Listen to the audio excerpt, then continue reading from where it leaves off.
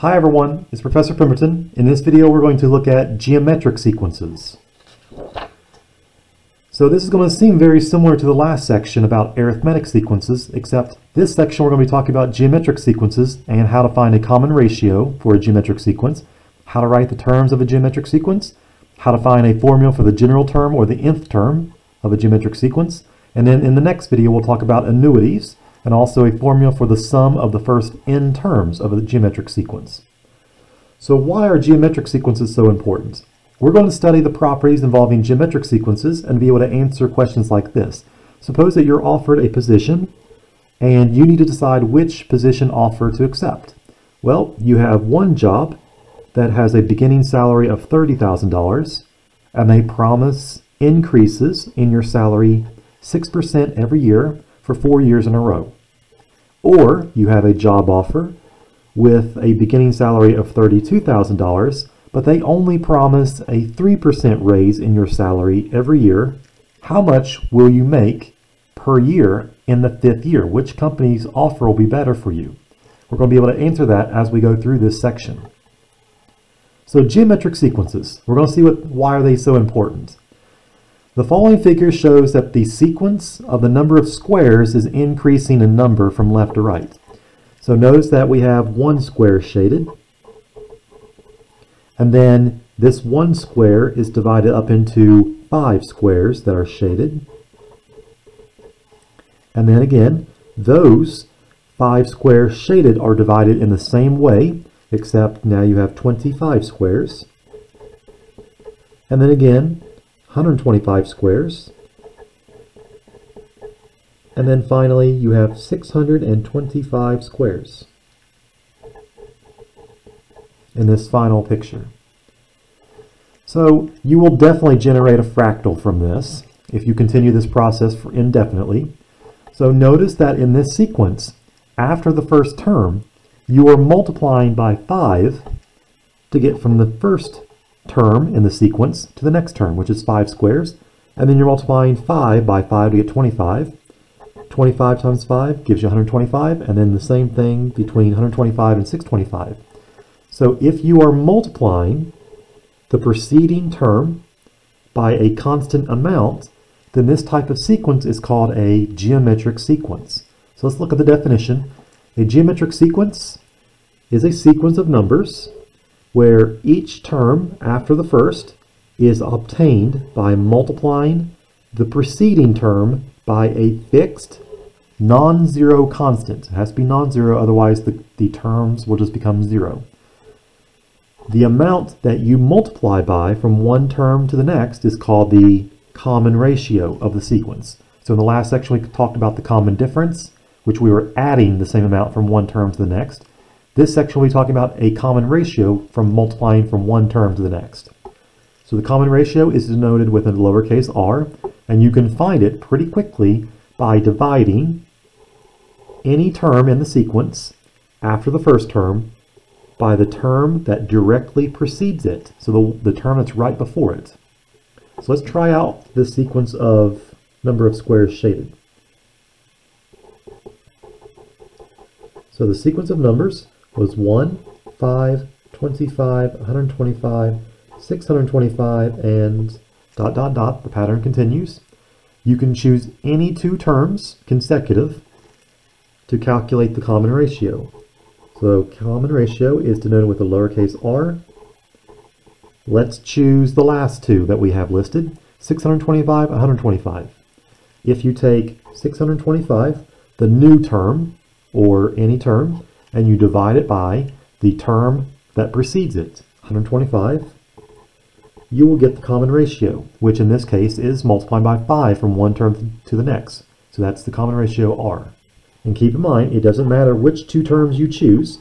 If I choose 125 and 25, I should also get the same ratio. 125 divided by the one before it was 25, and that is also 5. So that's why it's called the common ratio. It should be consistent or constant from one term to the next. So let's start by looking at this question on how to find the common ratio for geometric sequences. You have the sequence 1, 5, 25, 125, and 625. Well, this is the sequence we just were looking at with the shaded squares. So let's choose 1 and 5 to calculate the common ratio. The common ratio will be always the new term divided by the old term. So 5 divided by the term before it was 1.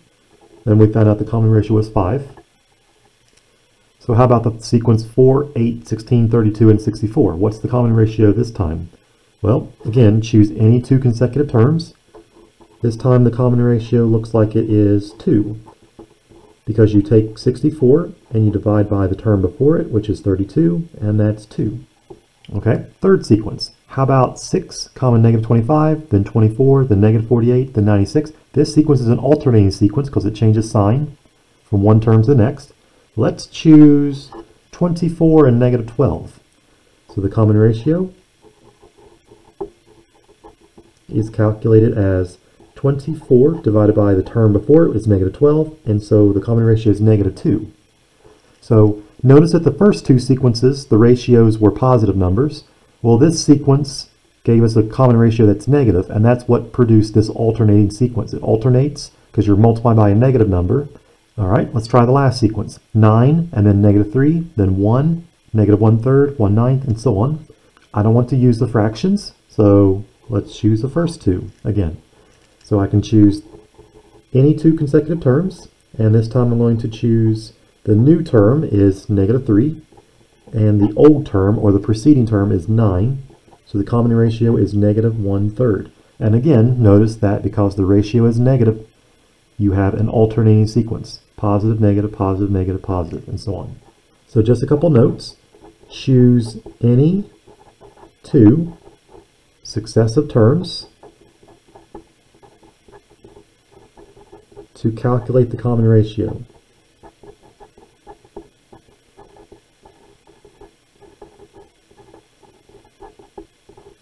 Just like we did in this, in this question. And the common ratio is de always denoted with a lowercase r.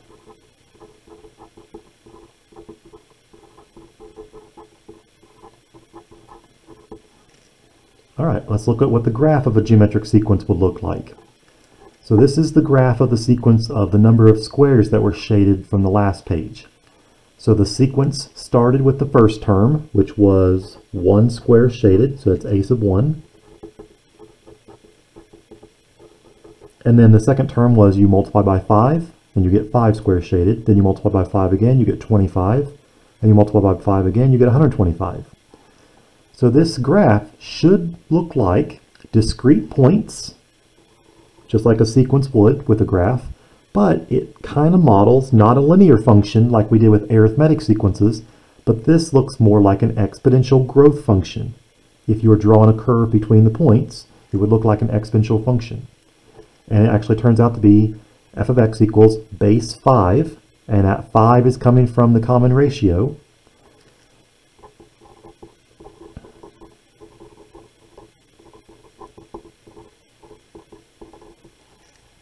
the exponent is x subtract 1, and the exponent is only written that way because if we substitute in n equals 1 or x equals 1, we need to get the first term. 5 to the 1 minus 1 power gives you 5 to the 0, which is 1.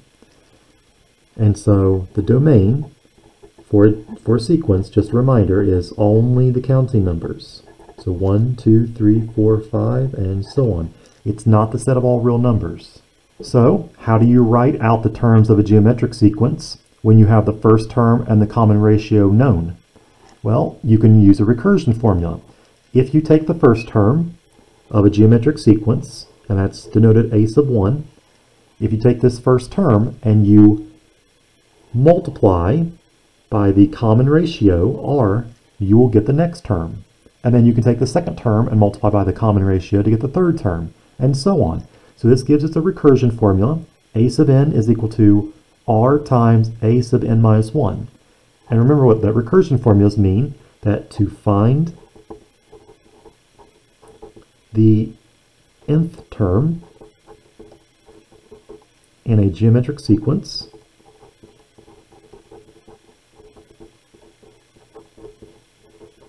then multiply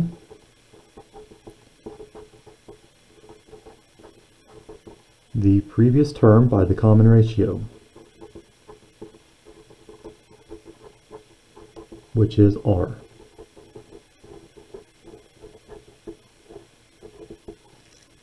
So this gives us a way to figure out every term in a geometric sequence using this recursion formula. So let's try out example one with this recursion formula idea in mind. Find the first six terms of the following geometric sequences when we only have the first term and the common ratio. So number one, first term is 4, and the common ratio is 3. So the first term is given. It's 4. If you want to find the second term, you take the previous term, which is 4, and you multiply by the common ratio, which is 3. So the second term is 12. You want to find out the third term, you take the previous term, 12, and you again multiply by the common ratio. So you get 36, so that's the third term. a sub 4 is previous term times 3, and this is 108 for the fourth term. a sub 5 would be 108 times 3, which is 324.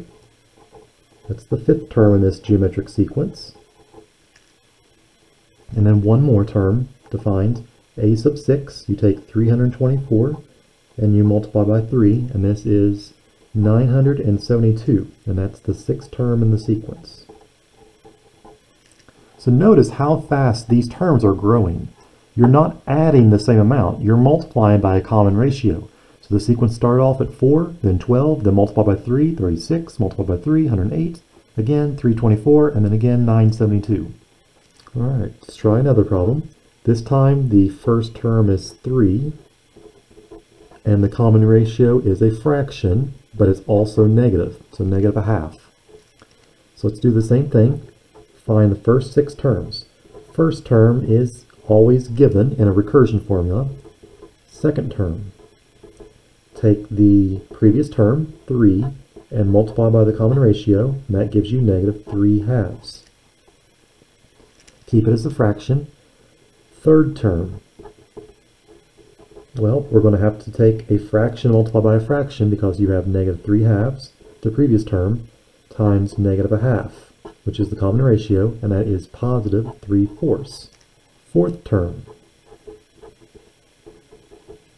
a sub 4 would be 3 fourths times negative a half, and that is negative 3 eighths. Notice again that since the ratio is negative, the signs are alternating from one term to the next. The fifth term, a sub 5 is negative 3 eighths times negative a half. That is positive 3 sixteenths. And then one more term. The sixth term turns out to be 3 sixteenths times negative a half, which is negative 30 divided by 32. So this gives you an idea of how to take the recursion formula and generate a geometric sequence, but you need to know the common ratio and you need to know the first term. So just like we did with arithmetic sequences, we want to be able to not only use the recursion formula, we want to be able to find out any term in the sequence if it's a geometric sequence by finding the general term or the nth term. So here's how we're going to do this. A geometric sequence can also be found if you have the first term, a sub 1, and you have the common ratio. So just like we found out with the recursion formula, we also know that the first term of a geometric sequence, then we can find a formula for the nth term as follows. So here's how it works. We're going to be looking for a pattern again, just like we did with arithmetic sequences. So these are the first six terms of a geometric sequence. The first term is a sub 1. To get the second term, you take a sub 1 and multiply by r. So a sub 2 is a sub 1 times r. Well, to get the third term, you take a sub 1 r, which is the second term, and you again multiply by r. So the third term would be a sub 1 times r times r again, which gives you a sub 1 r squared. So you have to multiply by r twice, to get from the first term to the third term. And then your fourth term would be a sub 1 r times r times r, or a sub 1 r cubed, and so on. The pattern will continue again. So it's just like arithmetic sequences. Arithmetic sequences, you are adding d from one term to the next. Geometric sequences, you're multiplying by r from one term to the next. So what is this relationship that you notice between the exponent on the r and the subscript of the term? It turns out that the first term has r to the 0, the second term has r to the first, the third term has r squared, so r to the second, the fourth term has r to the third. Well, the exponent turns out to be 1 less than the subscript of the term. So the general term of it, or nth term, of a geometric sequence always appears to be this form. a sub n is equal to the first term, a sub 1, times r, the common ratio, to the n minus 1 exponent. You have to multiply by r n minus 1 times to get from the first term to your nth term. So that's the definition of the general term of a geometric sequence. The nth term or the geometric or the general term of a geometric sequence. You need to know the first term and the common ratio. And it turns out that the formula is a sub 1 r to the n minus 1 power. So let's try example 2. This is very similar to, to the last section when we talked about arithmetic sequences again. Find the common ratio, find the first six terms, find the nth term, and then find out the eighth term. So let's start with the common ratio.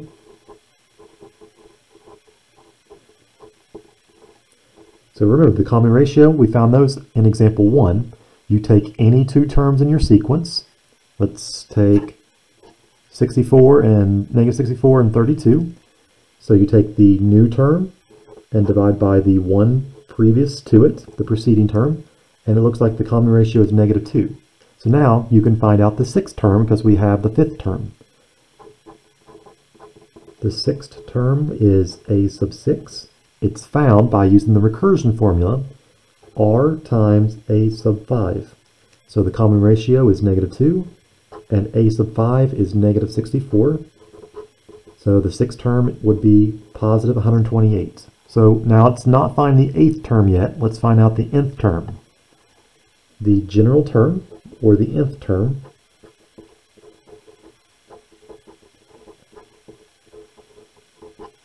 it is a sub n equals the first term times r to the n minus 1 exponent.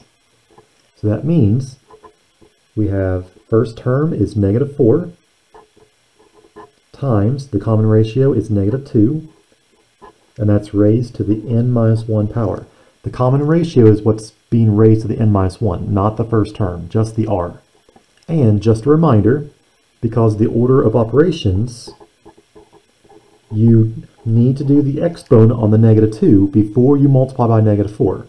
So keep in mind that negative 4 times negative 2 to the n minus 1 is not equal to 8 to the n minus 1 power. So you cannot multiply the negative 4 and the negative 2. You have to do negative 2 to the exponent first, figure out what that value is, and then multiply by negative 4. So now we have the nth term, let's find the eighth term.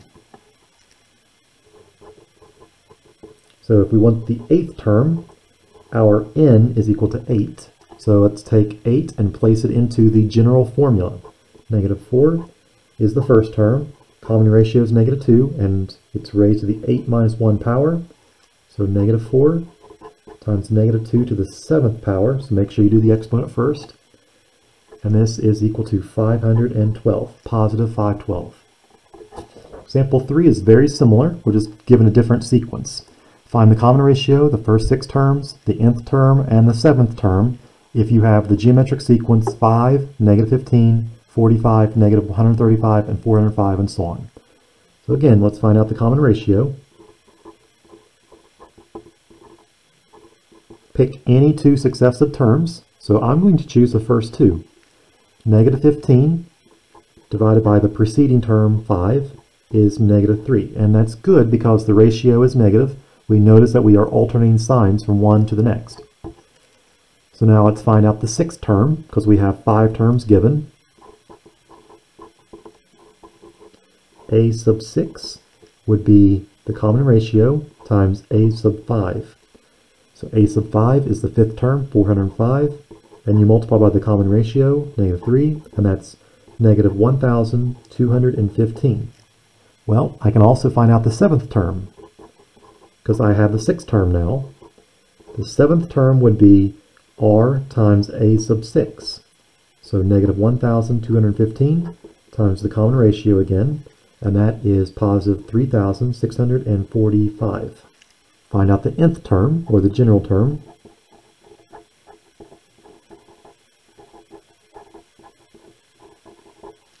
So again, the formula for geometric sequences is a sub 1 times r to the n minus 1. That gives you the nth term, a sub n. So our sequence would be the first term, 5, times the common ratio, negative 3. Make sure the ratio goes in parentheses because it's being raised to a power, n minus 1 power.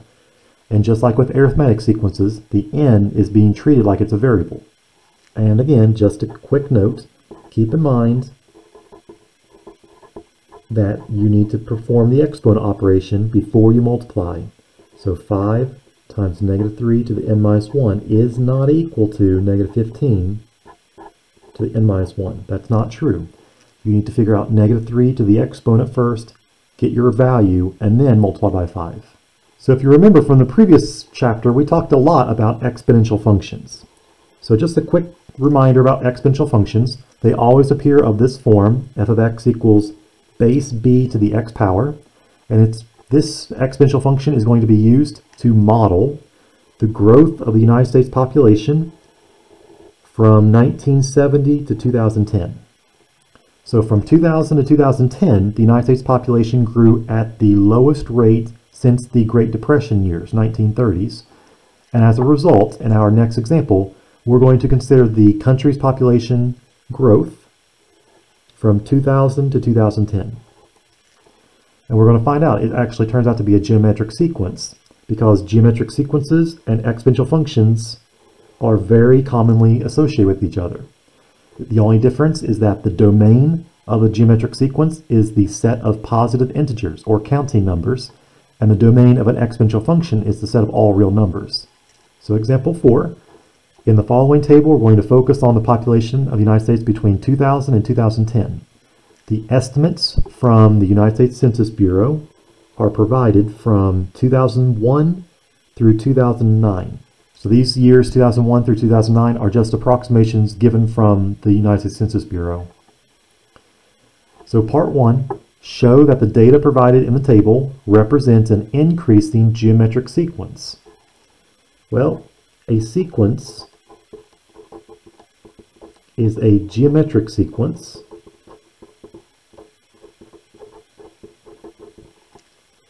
if the common ratio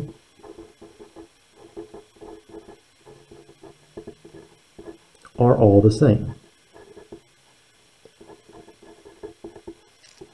So we're going to calculate several of these and see if the common ratio turns out to be equal. So calculate the common ratio, R, Let's do the first two years, 2000 and 2001. So we're not dividing the years, we're dividing populations, which are values from the range. So 284 is the term in the sequence, divide by the preceding term, which is 281.4.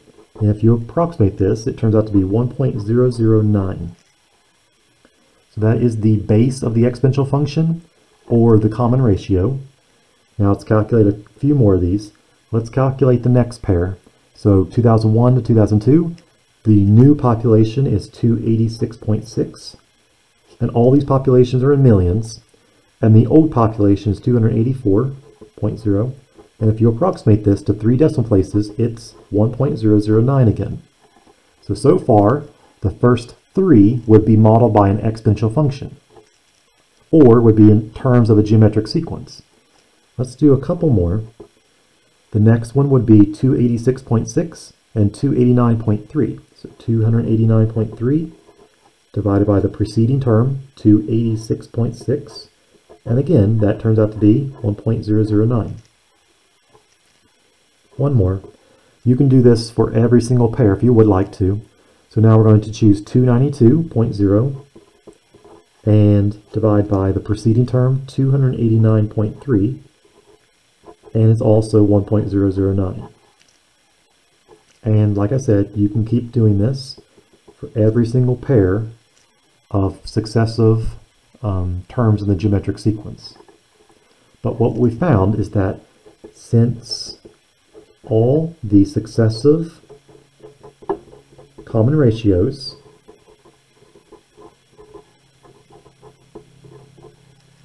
are the same, then the sequence is a geometric sequence.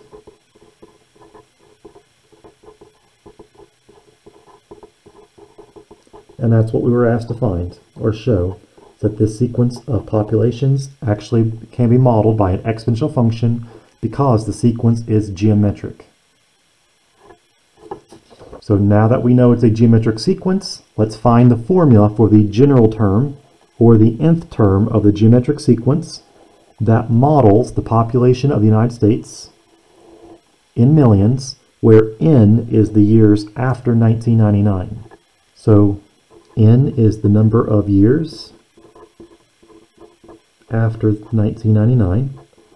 Now, the reason why that's 1999 and not 2000 is 2000 was the first term in the sequence. So you want a sub 1, so a where n equals 1, to be one year after 1999, and that was the year 2000. The general term for a geometric sequence, we've been looking at this for a while now. It's a sub n equals the first term times the common ratio to the n minus 1 exponent. So a sub n is equal to, the first term was the first population. a sub 1 is 281.4 million. And this is the first term. So that was the population in the year 2000. So 281.4, and just know that all the units are in millions of people. And we found out from the last problem that the common ratio was 1.009. So multiply by 1.009, and the common ratio is what's raised to the n minus 1 exponent. So this is the general term or the nth term for the population of the United States. So now let's use the general term to answer part three. What is the projected population of the United States in 2020? Let's find out what the number n is. n is the number of years after 1999. So n would be 2020, subtract 1999, and that is 21 years. So we are looking for the 21st term in the geometric sequence. So it's 281.4 times 1.009 raised to the 21 subtract 1 power, which is 281.4 times 1.009 to the 20th exponent, which is approximately equal to 376.6 million people. That's the projection according to the United States Census Bureau for the year 2020. So this is a good place to stop our discussion on geometric sequences and finding the general term or nth term of a geometric sequence. If you have any questions about any of the examples that we talked about, please let me know. Or if you have any questions about any of the problems in the homework for this section, please let me know that as well. And in the next video, we'll talk about annuities and the sum of the first n terms of a geometric sequence.